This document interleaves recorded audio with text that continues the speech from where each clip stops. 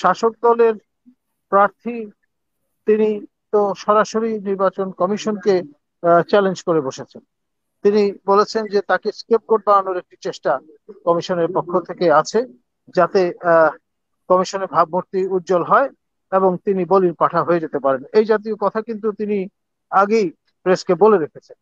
মানে দুজন মূল যে প্রার্থী আপনার রিফাত সাহেব কিংবা আপনার সাকুর সাহেব এই টিম বি টিমের মতো একটা ভূমিকা হয়তো পালন করছেন বা করবেন। বাহার সাহেব হচ্ছেন প্যাট্রিয়ার সবচেয়ে প্রভাবশালী ব্যক্তিত্ব। এবং সেই কারণে আপনার রিফাত সাহেব বারংবার বলবার চেষ্টা করেছেন যে তিনি বাহার সাহেবের ক্যান্ডিডেট এটা ঘোর কলি যুগ সমাচ্ছন্ন এবং সবকিছু রিভার্স একটা জায়গায় চলে গেছে। যেই স্লোগানটা ছিল, আপনার দুষ্টের দমন এবং শিষ্টের পালন, সেটি হয়ে দাঁড়াতে পারে আপনার দুষ্টের পালন এবং শিষ্টের দমন।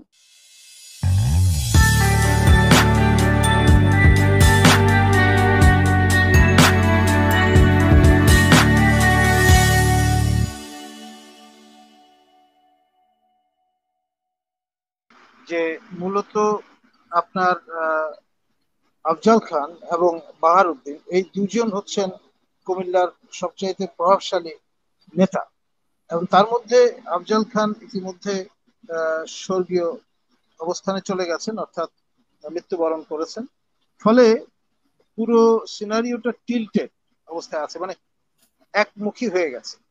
বাহার সাহেব হচ্ছেন প্যাট্রিয়ার সবচেয়ে প্রভাবশালী ব্যক্তিত্ব। এবং সেই কারণে আপনার রিফাত সাহেব বারংবার বলবার চেষ্টা করেছেন যে তিনি বাহার সাহেবের ক্যান্ডিডেট শাসক দলের নমিনেশন পাওয়ার পর থেকেই এই বিষয়টি তিনি চাউল করবার চেষ্টা করেছেন, কোনো রাগঝাট করেননি। আর সে কারণেই, যেহেতু তারই আপনার শিষ্য সবচাইতে আস্থাভাজন শিষ্য রিফাত সাহেব, সেই কারণে তাকেও বাহার সাহেব আবান্ডন করতে চাননি।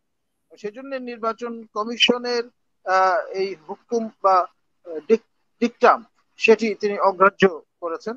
আর তার এই প্রবণতাটা কিন্তু আগে আমরা লক্ষ্য করেছি। মাননীয় প্রধানমন্ত্রী আপনার যখন সিদ্ধান্ত ব্যক্ত করলেন যে এই বিভাগের নাম মেঘনা নদীর নামে রাখবেন, সেটি চ্যালেঞ্জ করে বসলেন বাহার সাহেব এবং প্রকাশ্যে মাননীয় প্রধানমন্ত্রীর সঙ্গে তিনি তর্ক যুদ্ধে লিপ্ত হলেন।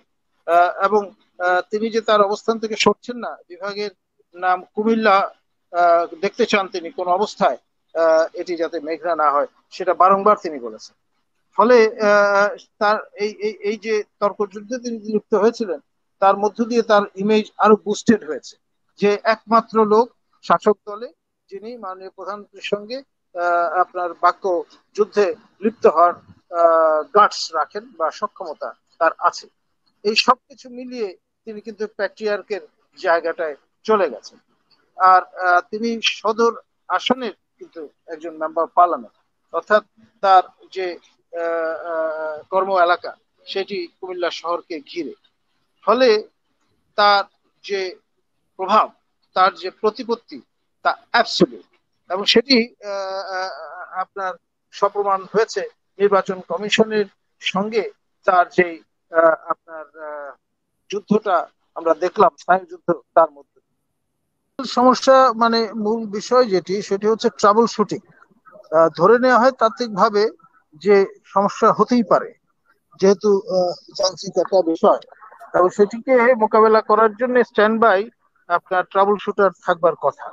কিন্তু যারা মোতায়েন ছিলেন, তারা তাদের দক্ষতা নিয়ে এক ধরনের প্রশ্ন দেখা দিয়েছে। যারা ভোটার তাদের কাছে মনে হয়েছে যে তারা যেই প্রত্যাশাটা তাদের কাছ থেকে করছেন, তা হয়তো পরিপূর্ণ করা মতো সক্ষমতা পরিপূর্ণভাবে তাদের নেই। আর এই কারণে পুরো কাস্টিং যে প্রসেসটা সেটা স্লো ডাউন হয়ে গিয়েছিল। এবং লম্বা সময় লাগছিল ভোট কাস্ট করতে। এই জায়গাটা একটা গ্রে এরিয়া এটা আমাদের আসলে ভবিষ্যতে খেয়াল করতে হবে, যাতে এর থেকে উত্তরণ ঘটানো যায়। আর যে বিষয়টি, সেটি হচ্ছে আপনার যারা ব্যবহার করবে, অর্থাৎ ভোটাররা, তারা, তাদের মধ্যে এক ধরনের সাইনেস আমরা লক্ষ্য করেছি এবং হ্যান্ডসন ট্রেনিংটা বারংবার প্রদান না করলে এই সাইনেস থেকে উত্তরণ ঘটানো ডিফিকাল্ট হবে বলে আমাদের পর্যবেক্ষকরা মনে করেছে। নির্বাচন দিবসের যে আনুষ্ঠানিকতা, তা আনুষ্ঠানিক এবং ফর্মাল কিন্তু এর পটভূমিটা খুব গুরুত্বপূর্ণ যে বিষয়টি আমাদের শ্রদ্ধ সাকেব আলী মহোদয় তুলে ধরেছেন, লুর অফ মানি। এটি অনেকাংশে পুরো প্রক্রিয়াটিকে কন্ডিশন করে দিয়েছে। কুমিল্লার যে রাজনীতি, ঐতিহাসিকভাবে শাসক দলের মধ্যে দুটি আপনার সবসময় সক্রিয় ছিল। একটি প্রয়াত আফজাল খানকে ঘিরে আরেকটি বাহারুদ্দিন সাহেবকে ঘিরে। আফজাল খান মৃত্যুবরণ করায় এটা টিল্টেড হয়ে গেছে। আর এখানে যে বিষয়টা সেটা হচ্ছে আমরা খেয়াল করেছি যে এখানে আপনার যে অবস্থাটা সেটা আপনার এই রকম যে যেটা সাকিব আলী মহোদয় বলেছেন সেটা হচ্ছে এই যে বাহার সাহেব যেহেতু প্যাট্রিয়ার ধর্মী একটি অবস্থানে চলে গেছেন। আচ্ছা, তার আনুষ্ঠানিক যে ক্যান্ডিডেট তিনি শাসক দলের নমিনেশন পেয়েছেন। আর যিনি সাকু সাহেব তার মেইন চ্যালেঞ্জার তিনি আপনার এখানে বরাবর এর আগে দুবার নির্বাচিত হয়ে এসছেন।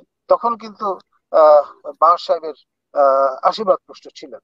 এবং তার ধারাবাহিকতায় এবারও অনেকে মনে করেন যে তিনি যদি জয়লাভ করেন করতে পারেন, তাহলে আপনার বাহার সাহেবের মতের বাইরে গিয়ে কিছু একটা করবেন তেমনটি নয়।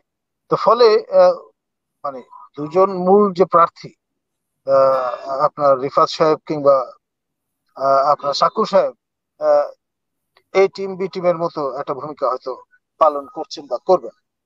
আর লড়াইটা ত্রিমুখী হওয়ার কথা এবং ভোট এখানে ভাগ হয়ে যাবে সাকুর সাহেবের এই কারণে যে আরেকজন যিনি প্রার্থী নিজাম সাহেব তিনি আপনার জাতীয়তাবাদী যে ঘরানা তারই প্রতিনিধিত্ব করেন। তো ফলে দুজনের ভোট ব্যাংক সাক্ষু সাহেব এবং নিজাম সাহেব তাদের দুজনের ভোট ব্যাংক এক।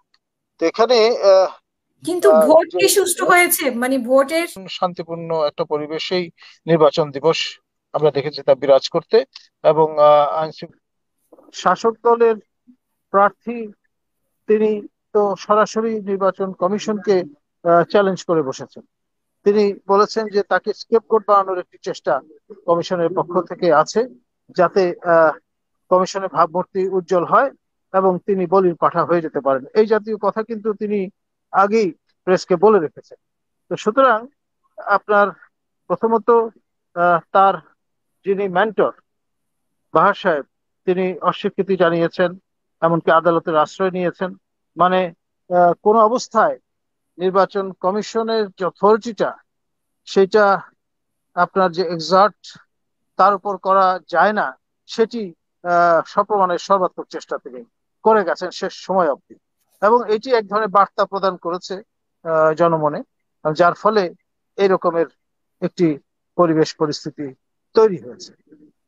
চেষ্টা করেছেন ফলো মানি। এটি মূল বিষয়, এতে কোনো সন্দেহ নেই। এবং এই বিষয় নিয়ে আপনি যে আয়োজনটি করেছিলেন কথা বলবার জন্য, এবং আমি এবং মনিল চৌধুরী সাহেব আমরা কথা বলার চেষ্টা করেছিলাম, সেই কারণেই আমাদের কণ্ঠরোধ করবার জন্য এক ধরনের ভয় ভীতি দেখানোর উদ্দেশ্যে এই মামলাটি রুজু করবার চেষ্টা করা হয়েছে। এমন একজন ব্যক্তি আগুয়ান হয়েছেন যার নম্বর ওই তালিকায় দুই নম্বরে আছে। এবং তিনি আড়াই বছর ধরে হত্যা মামলার পলাতক আসামি বলে জানা গেছে। তো ফলে পুরো বিষয়টাই মানে রীতিমতো যেটাকে বলি আমরা আইনের শাসনের প্রতি বুদ্ধাঙ্গুলি দেখানোর সামিল। এক আমরা একটি বহু বচনিক সমাজ হিসেবে বাংলাদেশকে দেখতে চাই। আমরা চাই একটা প্লুরাল স্পেস এখানে বিদ্যমান থাকবে। কিন্তু সেখানে যদি এই ধরনের আপনার কথা বলবার, ব্যাখ্যা করবার একটি ন্যারেটিভ হাজির করবার যে উদ্যোগ আমরা গ্রহণ করেছি, তাতেও যদি বাদসাদা হয়, তাহলে বুঝতে হবে যে এটা ঘোর কলি যুগ সমাচ্ছন্ন এবং সবকিছু রিভার্স একটা জায়গায় চলে গেছে।